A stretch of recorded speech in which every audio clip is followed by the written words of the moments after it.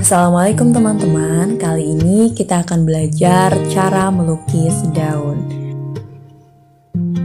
Nah ini saya menggunakan cat air merek Osama atau sama dengan warna hijau tua, mustard, dan hitam. Karena masing-masing cat air biasanya memiliki nama yang berbeda. Nah ini saya sudah menuangkan di atas palet, kemudian saya basahi dengan air bersih, aduk-aduk dengan kuas sampai merata.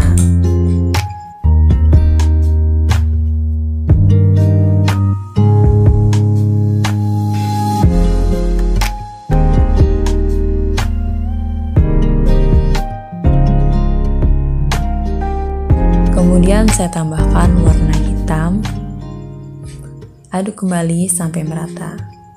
Nah ini warna hitam saya tinggal sisa-sisa tapi masih bisa digunakan. Ini saya cek warna di atas kertas. Kertasnya juga menggunakan watercolor paper. Ketika sudah pas warnanya, saya ambil beberapa ditaruh di palet sebelah campuran warna yang tadi saya tambahkan sedikit air untuk membuat campuran warna yang lebih tipis karena nanti saya akan membuat lukisan daun dengan warna yang tebal dan tipis. Nah, teman-teman bisa memulainya dengan membuat goresan kuas yang tipis Ini nanti untuk rantingnya.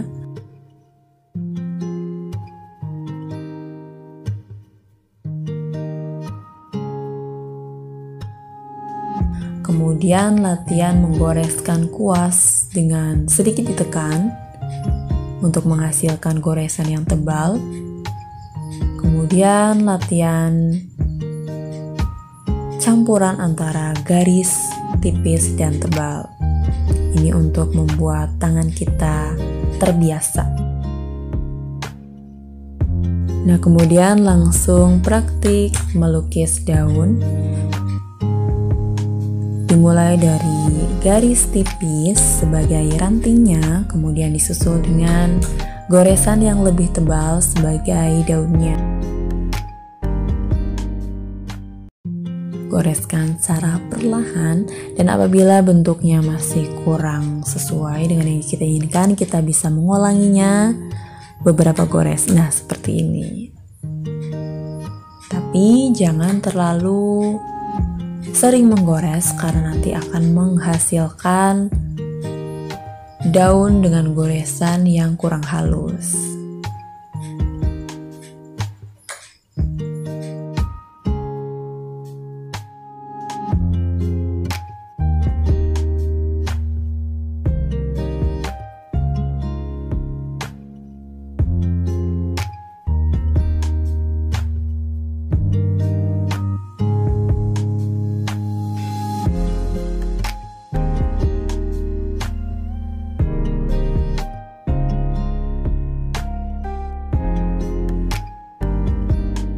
Kemudian kita juga bisa membuat daun dengan bentuk yang berbeda.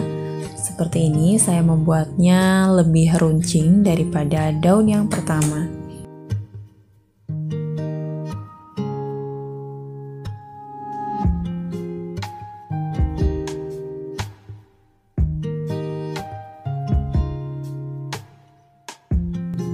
Nah, ini saya melakukan kesalahan goresan daun yang ini sudah mengering dan saya ulangi lagi jadi nanti hasilnya terlihat berbeda dengan yang lain atau terlihat kasar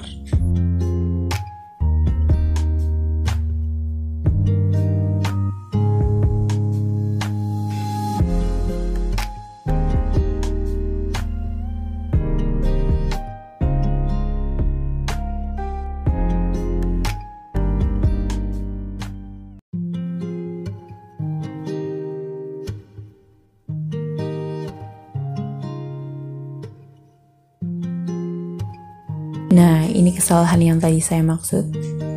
Terlihat bedanya dengan yang lain. Oke, sekian dari saya untuk materi melukis daun.